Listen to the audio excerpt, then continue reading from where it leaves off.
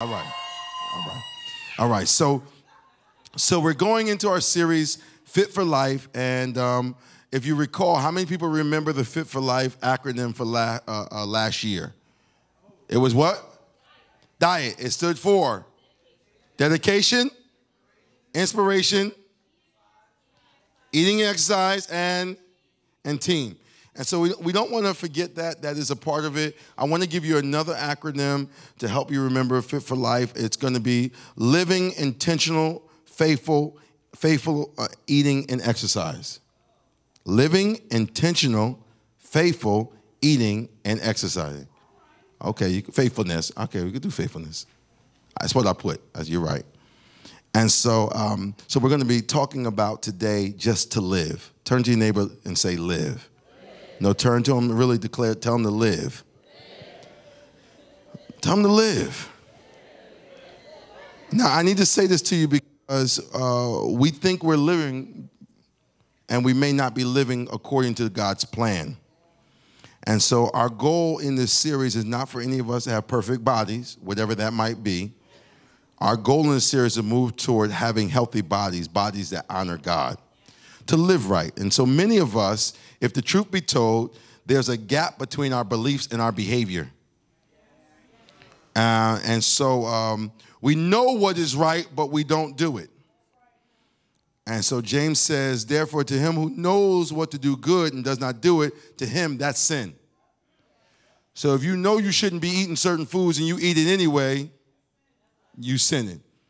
Ham hogs and stuff, and you know you you got high blood pressure, you're eating all you should not be eating. And you already know, and you trying to say, I'm trying to live, stuffing your face with something that you know is causing you to have high blood pressure, diabetes, and all the good stuff. And you trying to say, I'm trying to live, but you know, no, you're in sin. Whenever you you know what you shouldn't be eating, the doctor told you what not to eat, and you eat it anyway because you like it, you're sinning. High five, just two people say, I, am coming out of sin. C- come on. yeah, yeah. Some of us, we, we don't want to hear this, but this is biblical. Now, our scripture that we're going to stand on is, is very uh, similar to last year, and it was 1 Corinthians 6. Um, 19 to uh, 20, we're going to stand on that. And we're going to stay on that all month and kind of uh, 1 Corinthians 6. You there? All right, I'm going to re- read from New Living. It says, "Don't you realize that your body is the temple of the of the Holy Spirit who lives in you and was given to you by God? It's a gift. You don't belong to yourself, for God bought you with a a high price. So you must honor God with your body. And so we're, we're we were bought with a price." And so you have to realize that the moment you accept Jesus as Lord and Savior, where those individuals at, you accept Jesus your Lord and Savior life. Come on, hands, hands lifted high up to the sky. Uh-huh. So okay, every so everybody in here, the Holy Spirit's living in you. You okay? You can get excited about that. The Holy Spirit's in you. The question is, is he choking and dying on the inside? No, you could choke them out with your fat. Oh, y'all, y'all want me to be nice. I'm sorry, let me be nice. You want to kill them with your cigarette smoke. Oh, I'm, am I being bad? No, you want to live, but you're doing stuff secretly, privately, then saying, I love God. And the Holy Spirit in there choking. you say, he says, live Holy Spirit's living on the inside, but what are you feeding the Holy Spirit?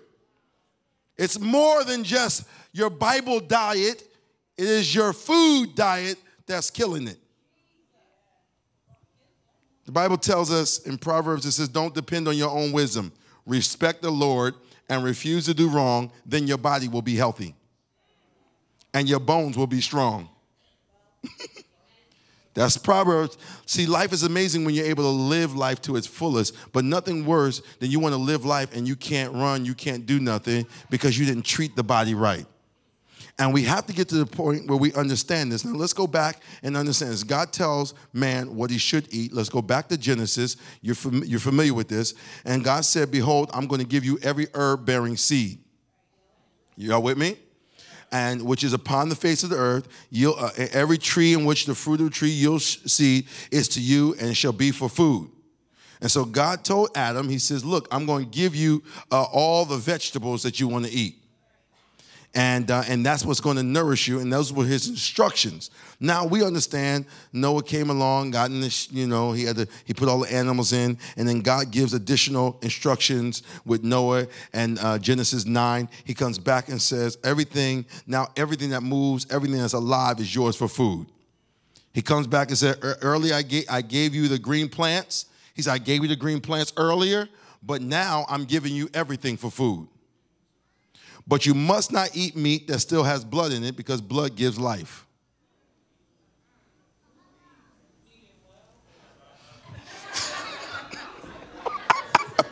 See, is I now listen, I'm not going to go with semantics with you because the Bible gives such detailed food instructions that if I talked about it right now, you don't want to be a believer no more. No, you won't even go. You'll pick up the shrimp and go. It gives very detailed instruction on what you should eat and how you should eat it, but we don't read that part of the Bible. And so, because of that, uh, oftentimes, my first point simply, we have to learn how to eat to live. You can eat everything. He says you can eat everything, but if your blood pressure but if you, oh, come on. If your, your diabetes is creeping up on you and you're at 200, if for some reason your belly is leaning too far over and it's hard to see everything below it. Am I wrong? Is this hard? I'm okay? I am not, please, I'm not trying to, I'm simply saying you have to eat to live. Now, watch this. Your body is so magnificent the way God designed it. Now, you correct me if I'm wrong, y'all, y'all, y'all nutritionist people. The body is designed that if you eat certain foods, your body will turn on itself and eat your fat without you working out. Oh, I'm, I'm all right? Okay, so so Matter of fact, if I eat enough protein, actually it tells you if you eat your body weight in protein, your body will automatically, without working out at all, you don't have to work out at all, your body will eat every fat cell. It'll eat all the fat in the areas that you have fat. Somebody say, wow, come on. Yeah. So your body, the way he designed you, you don't even have to physically work out like, like crazy. You just gotta eat to live you got to make some decisions. So you can't skip meals and then eat the big meal at night and you ain't eat no protein because your body's designed that if you don't eat that way, you don't eat enough protein, your body says, well, there's not enough protein, eat the muscle. And so then the body starts eating muscle and leaving the fat because it don't want it. Ooh, y'all don't love me. Please tell me y'all with me. I'm in the Bible. I'm in the Bible. And so we have to eat to live. Watch this. Daniel, Daniel 1:15. At the end, now Daniel was a slave in this in this situation. he was captured. They brought him in and they gave him. They said, "Look, we want to give you all the king's food. You're you're you're the king's guest." Daniel says, "Listen, I don't want to eat that stuff. That's not good for me." And uh, Daniel said, at the end of ten days, the Bible says Daniel and his three friends. Y'all know who his three friends were? Okay, y'all know them, y'all know them. And they looked, the Bible says they looked healthier and better nourished than the young men who had been eating the food assigned by the king. Which tells me you're not gonna die if you stop eating certain foods. Matter of fact, the way the body works, you can go 21 days without eating. But we go on a 40 day fast and you're gonna die.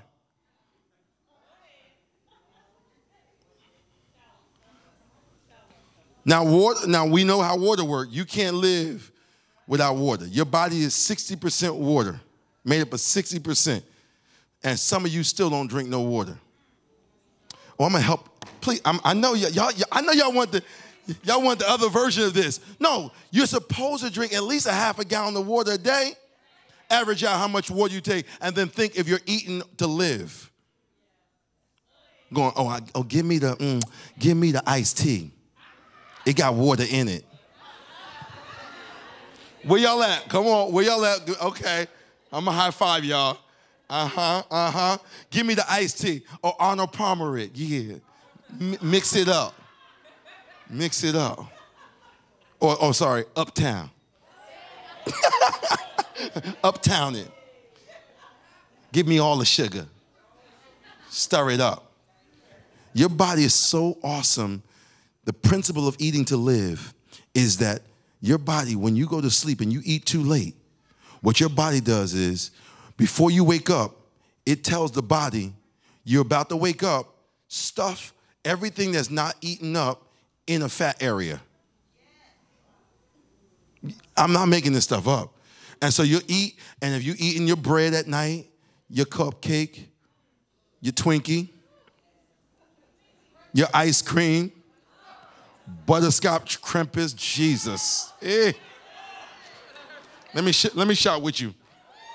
That butterscotch Krimpet, right about nine o'clock, and when you hungry and you go get that Krimpet, by the morning, it has taken what little nutrition that Krimpet has, and then the rest is stuffed up under a fat area, whatever favorite fat area you have. Where y'all at? Y'all, y'all ain't loving me. No, no, wherever it is. For me, it'll go, it'll go around my stomach. It, it, it, that's all it's going because I don't have fat too many other places. I got 20, 26% fat in my body. It all goes in one place. And so some of us need a belly fat cure, and it's simply eat to live. The second thing we need to understand is this we have to think to live. Your thoughts matter. And, and it's funny because your emotional health, if you're not thinking right, you'll eat whatever. We're my emotional eaters. Thank you for being honest. Some of y'all ain't gonna, men ain't gonna raise their hand. Oh.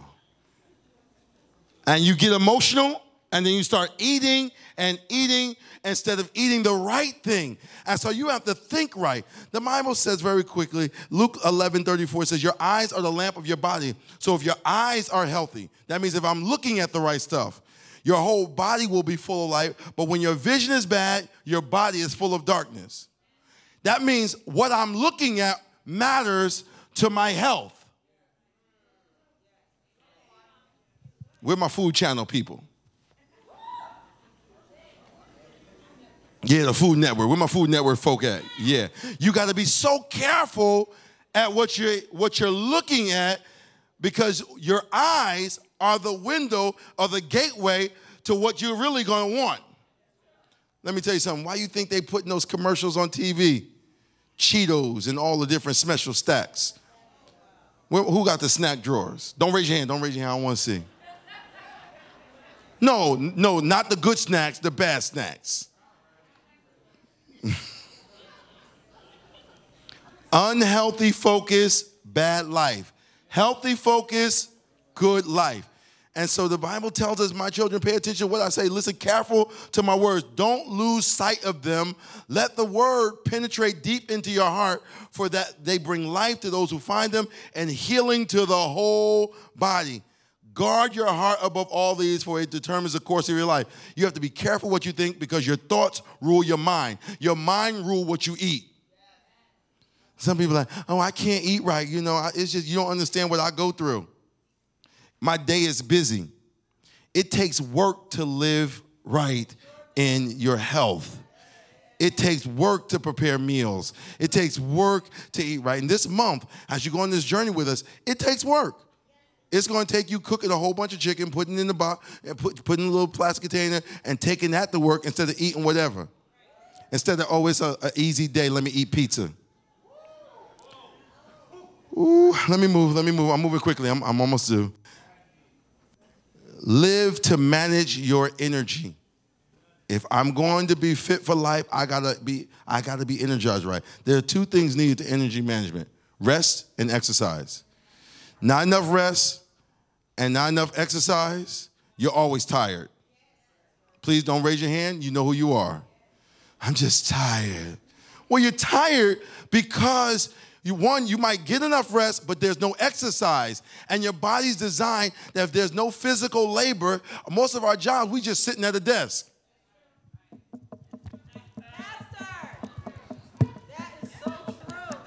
And because you're not doing nothing, your body is just get, it's like, oh, let me tell you something.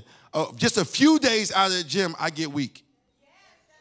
Yes, I, I, I, I, didn't go to the gym for like three days. I went back, tried to get up under my normal weight. I, I got up under, down. I was like this. I was putting my weight on. I was like, uh, uh, uh, uh, uh, woo. Because when you're, when you're working out, you got to psych yourself up, especially by yourself. I was like, yeah, yeah. I put my normal weight, 235. I, I could do it no problem. Before, I put it on. I just threw it back up, walked away like I did something. Because what you don't do regularly, you start to lose. And you're not eating, you're not thinking right, and so you go down a pathway. And so this Fit for Life series is designed to hopefully challenge you. Rest right now. My phone, your, your smartphone is smart. Let me tell you what it'll do. My phone tells me at about 11 o'clock, time to go to bed or you will not get enough sleep. How many phones, your phone did it? I have a reminder on my phone, it tells me to go to bed. Even though I might not do it, it tells me go to bed. And I'll look at it and go, all right, I'm gonna ignore that. I'm, I'm, I'm about to go. It might take me another hour or two. Then I look at the time, I look at my Fitbit, I found out I only slept for three and a half hours. And I, have done that like back to back, six or seven days. I'm like, oh man, I'm only sleeping. I didn't slept three hours that day, four hours that day. Fitbit will tell you. How many people got your Fitbits? If you we, we need to give away a few Fitbits. Look at y'all. Go buy your Fitbit. Stop being cheap. Uh, the Fitbit will tell you how long you're sleeping, how long you're walking, how long you're moving. And I realized, wait a minute. I said, oh, I'm not resting enough. And the day that I could not lift my weight, it was the day I only slept for four hours. So, on top of it, I realized that the strength that God's trying to get you to, you have to do right and live right and stop staying up late watching the wrong shows. Ooh. Okay. I better move. The Bible says in 1 Timothy 4 it says, keep yourself in training for godly life. Physical exercise is good for your body, but spiritual exercise is valuable in every way because it not only helps you in your present life, but prepares you for your life to come. We have to learn how to live. And so living includes supporting friends. You need the right people around you. Come on, high five somebody next to you. Come on, I say, I need you in my life. Come on, somebody else needs your life. The Bible says two people are better off than one, for they can help each other succeed. If one person falls, the other person can reach out and help. But someone who falls alone is in real trouble. And let me tell you something the worst thing in the world is trying to work out and you don't have nobody to push you. It's tough. It's, it's real tough because you there, you're like, oh, you know what? I'm good. I'm good. I did one. You need someone to, and I love talking to my friend uh, Pastor Smith, every now and then, uh, he'll, he'll, uh, we'll call each other, we'll FaceTime, and he says, he'll, he'll look at me and go, he said, man, look, let me see your face. Let me see what you, let me look, let me look at you, man. He said, man, you looking fat. I'm like, oh. I was like, I said to myself, well, I am feeling a little bloated right now. yeah, they had to make a, now that's, he, this is back in when I wasn't moving, I wasn't doing enough to work out. I, he was like, man, you looking a little. Now he, he looked at me, he seen me on my vacation period. He said, man, you look so, your, your, your face, I can see your neck and everything. I said, thank, thank you. Thank you. You need someone to encourage you, but somebody that you'll listen to when they say, I know you're not even eating right. I know you're not exercising. I know you're not doing anything. Come on, let's go for a walk. I'm so grateful for my dog. Even though we're not like that, um, I'm grateful for him because every morning, every morning, I'll go work out, I'll come home, and the dog will run around in circles. And I'll be like this. Mm-mm. I'll go and eat my breakfast, and he'll he'll he'll look at me. He's sitting in my face. I said, I'll let you out. I'll let him go outside in the yard. Go ahead. He'll go out in the yard. He'll come back. Look at me. I, I, I don't. I, I have this great ability to, to ignore this animal. I would look at TV. I'm like, and then he'll put his paw. Up. I'd be like this. He go, you want to go out? He'll run to the door. He like, you gonna walk me or what? He makes sure, he says, you know what, you're gonna take me for a walk today. It ain't raining, the sun is out, you're gonna, you're gonna walk me. And I love because it's almost like accountability because when I come off of it, it gives me an extra 2,000 steps every time I walk them. And I say, man, I needed that. Thanks, dog. You need somebody in your life that will make you do something because some of us aren't doing nothing at all. Oh, let me close my last one. Is this helping one person? Please tell me I'm helping one person. Okay, here, here's the thing. To live, I have to depend on God. Three factors I got to put on to do. First of all, I need God for motivation, for reward, and for power. For motivation, it is the Holy Spirit that helps me, motivates me. And when I tap into the things of God, it motivates me for more. The Bible tells us whatever you eat or drink or whatever you do, you must do it all for the glory of God. The motivation for why I want to have a, a six pack, the motivation for why I want to look right is because I want to honor God. I am God's praise in the earth and I don't bring him glory not being motivated to get the body in shape and in order. I can't even pull myself up to save myself if a dog is chasing me. C- come on, somebody. Well, I'm friendly with dogs, but there might be a dog that you might might be coming after you, and you got to pull yourself up, and you can't do one pull up, just one, just don't no. No, no. The motivation is I want to honor you, God, with this body. Funniest thing in the world. I don't know if y'all remember, but Bobby Brown was on the uh, on a fit show. What was it called? Celebrity Fitness. Did y'all see this? Anybody seen it? Oh my God. He was really scared of dogs. And they, it was Celebrity Fitness, and they sicked the dog on him, and Bobby Brown was running.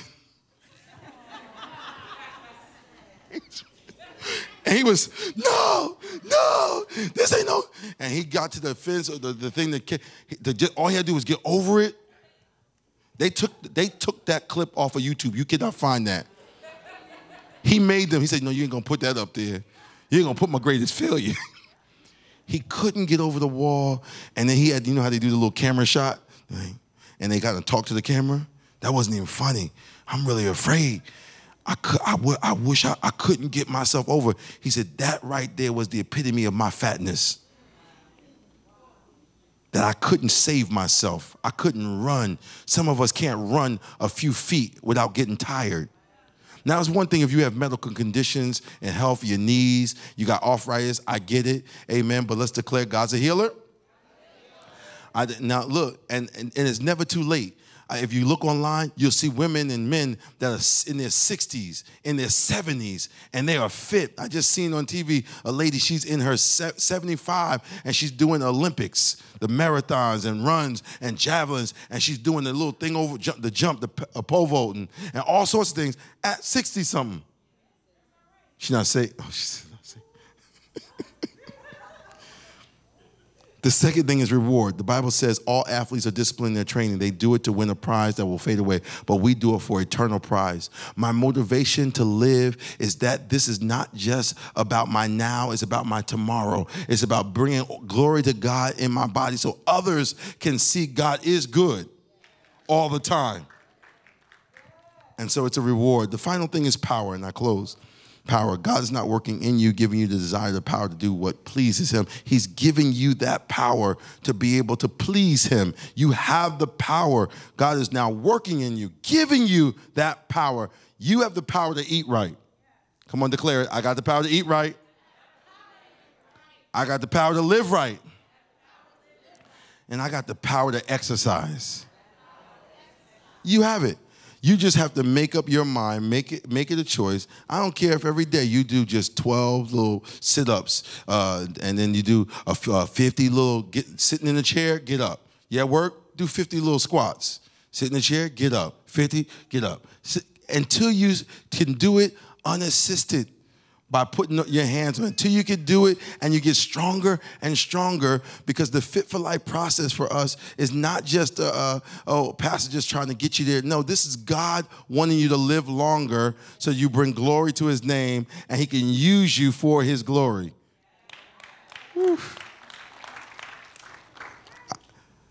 Now we're going to go eat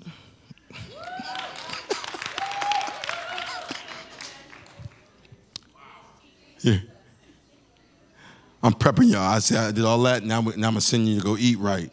Now, no, that'll make sure that everyone can get something because y'all, some of y'all will put more on y'all plate. Oh, we, oh, she said, no, we're gonna control that. We're gonna serve them. Cause listen, this this this month is gonna be really exciting because I'm gonna challenge you. Now, we did the walking, we set the walking up, and uh, not too many of you came out. I'm assuming that y'all walking on your own. How many people started walking on their own? How many people started walking on their own? Okay. Now listen, you don't have to walk. You can ride your bike. How many people got bicycles? Uh, so listen, this is not just walking. I need you to walk. I need you to ride your bike. Get a bike. You can get a scooter if you want. Not the electric ones, the ones you got to do this. No, something that will cause for you to move. How many people are going to participate? You say I'm going to I'm going to do something this month. Just this month, I'm going to do something. All right, wonderful, wonderful. Come on, keep your hand up, keep your hand up. You're going to do something. You're going to change your eating, whatever it is. Come on, we're going to do something. Amen. All right, all right. And look, your something could just be you're going to do this. You're going to sit down in the chair and get up a few times and just work out. But we're going to get our life in line with God to honor God. Amen. So, Father, even now, as we prepare to stand to our feet, oh God, I pray